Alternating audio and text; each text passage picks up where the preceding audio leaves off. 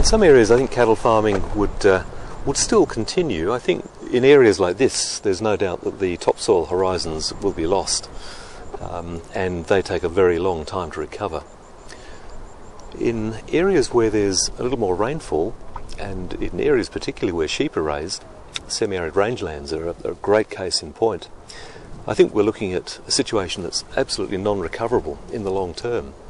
We get to the situation where, with more trees being removed for more pasture, more holes being sunk, with overgrazing being intense, the remaining vegetation communities will go. Goats are being introduced now into areas where sheep can't make a go of it. The goats are eating the woody weeds that can survive sheep grazing but not goat grazing. We're getting to a situation where all plant cover is being removed. The topsoil is blowing away. There have been recent dust storms in the big cities in eastern Australia as a direct consequence of mismanagement of the land over long periods. I think we can see, expect to see long-term degradation to the point where vast areas, millions of hectares, are completely unusable for the production industry and for native species. Why go down that path when we've got alternatives? It just makes no sense. We've got options. We must explore them.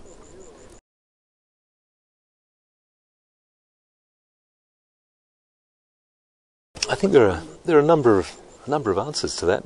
I think one is that historically we've always seen Australia as being a land to be tamed. This is, this is Europeans who have this value, this uh, this impression of the land. It's it's there to be used, abused, exploited. It's not there because it's got any intrinsic value in its own right. And I think it's uh, perhaps in Europe where it is possible to till the land to so that every square centimetre is used. Maybe that works. But in a land like Australia, where the rainfall is unpredictable, where soils are impoverished, where uh, wildfires are frequent, um, is a frequent event, we have to realise that using the land in the same way as we do in Europe isn't working. It has never really worked, apart from perhaps the when the first livestock were taken in and ate out the, the biomass that was there at the time. It's never really worked. It's not productive. There are a few exceptions, but over the vast majority of the continent, it doesn't work. We've got to get away from the mindset that this is an area that can be used as open rangeland forever. It can't be, and we've seen areas that have been degraded to the point where they are no longer usable. So there's a historical component. People have been here for a long time. The pioneers, the pastoral pioneers, are venerated in our in our in our ballads, our poetry, our paintings, our literature. Henry Lawson spoke of it. Banjo Paterson. It's it's part of a part of Australian culture, part of the psyche. For the people who've been on the land for a long time, it's very difficult to think of doing anything else. It's their lives, it's their lifestyle. If they're to move, then it's going to mean government assistance to help them to do other things, to retrain, to think about moving elsewhere, or if they stay, to think about doing other things with their properties, perhaps from a more from a conservation and ecotourism point of view. So these are difficult things. The government doesn't seem to be particularly interested in listening because, yeah, the bush is uh, not in their backyard. It's a long way from Canberra. It's a long way from all of the state capitals. So it's there's no great impetus. Not so many people come to the come to the inland to see and appreciate it. So there's less awareness of what's going on. I think even the conservation movement, with its focus very much on the forests, has neglected to look at the arid zone. The arid zone is where the extinctions of mammals have been, not in the forests. We've lost the thylacine from Tasmania. But apart from that, no the forest-dwelling mammals have gone. But the forest, the, the mammals that have gone have been, for the most part, the occupants of this sort of environment, the hopping mice. We've lost 10 species of native rodents in the last 200 years, all from these environments.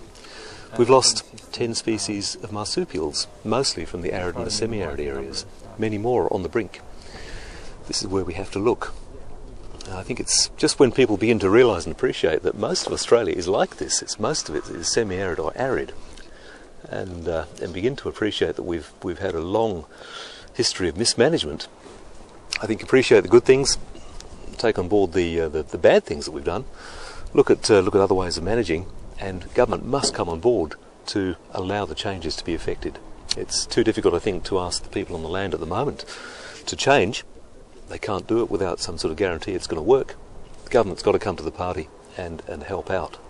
And I think the information is there now to show how it can be done And I think the, uh, the information is there to the, to the degree where we, where we have to demand this of the government.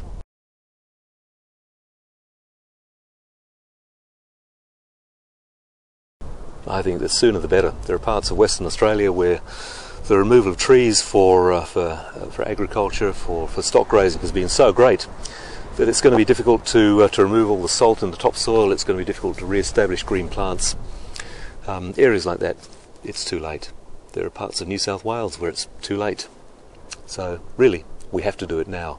The time frame should be this year, next year at the latest, five years at the, at the very, very most. We have to do it right now. There is, there's no delay.